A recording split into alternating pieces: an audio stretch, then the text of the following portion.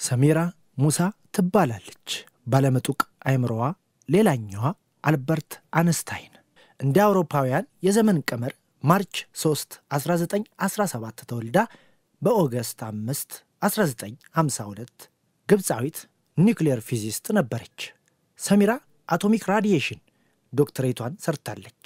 ወደፊት ልትሰራቸው ባቀደቻቸው ዕድሞቿ ከዕለታት አንድ ቀን የ atomic energy ለሰላማዊ ጥቅም እንደሚውል በጤናው ዘርፍ የሰፊውን ሕዝብ አቅም ያማከለ የመድኃኒት አቅርቦት እንደሚያመጣ ተስፋ ሰንቃ ነበር። በታላቋ ኢጅፕት መናገሻ ከተማ በሆነችው በካይሮ በተሰየመው በቀዳማዊ ኃይለ ሥላሴ ዘመነ መንግሥት ሳይቀር ለኢትዮጵያውያን ተማሪዎች free scholarship ይሰጥ የነበረው ዕድሜ ጠገቡና ዕውቁ የካይሮ ዩኒቨርሲቲ ውስጥ ለመስራት ከታደሉት እንስት ምሁራን የመጀመሪያዋ እንደሆነች የሚነገርላት ሰሚራ ሙሳ Atoms for Peace የሚል አቋም ነበራት።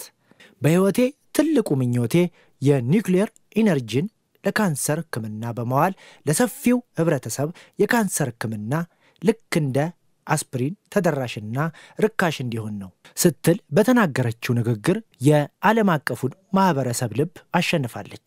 ሰሚራ ሙሳ አገር በቀል ዕውቀቷንና አቅሟን እንድታሳድግ ከ Fulbright atomic በአሜሪካን አገር በሚገኘው የካሊፎርኒያ ዩኒቨርሲቲ የነፃ የትምህርት ዕድል አግኝታ አቅሟን በተሻለና በዘመናዊ የትምህርት አቅርቦትና ቁሳቁስ አደራጅታ ጠቃሚ ምርምሮችን እንድታደርግ የታለመ የትምህርት ዕድል ነበር።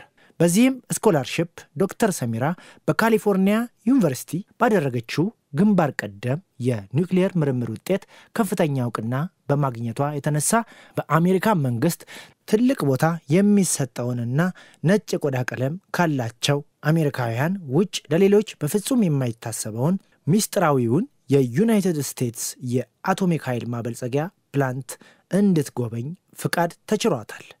ሆኖም ግን አሜሪካዊ ዜግነት የሌላት የአንዲት ጥቁር አፍሪካዊት እንስት የዚህ ታላቅ ምስጢራዊ ቦታን የመጎብኘት ዕድል በበርካታ የአሜሪካውያን ትምህርት ተቋማትና የሳይንሳዊ ጥናት ዘርፍ ላይ በሚሰሩ ተጽዕኖ ፈጣሪ ተቋማት አካባቢ ለምን ሲባል የሚሉ ከፍተኛ ሙግቶችንና የተቃውሞ ድምፆች ይሰሙ ጀመር። ሰሚራ በጣም በተደጋጋሚ ይቀርብላት የነበረውን በአሜሪካ እንድትኖር እና አሜሪካዊ ዜግነት እንድትቀበል የመፈለግ ሁኔታና ጉትጎታ የእኔ ውድ እናት ሀገሬ ግብፅ እየጠበቀችኝ ነው በማለት በተደጋጋሚ ጊዜ በእንቢታ ጥያቄዎችን ውድቅ አድርጋለች። ሆኖም ግን በኦገስት 5 1952 የአሜሪካ ቆይታ ጊዜዋን አገባዳ ወደ ምትሳሳላት እናት አገሯ ለመመለስና በሙያዋ የግብፃውያንን የአፍሪካውያንን አልፎም የዓለምን አስቀያሚ ገጽታ ለመቀየር ጫፍ በደረሰችበት በዛች ዕለት አንድ የመጨረሻ የጉብኝት ጉዞ ደረሳት።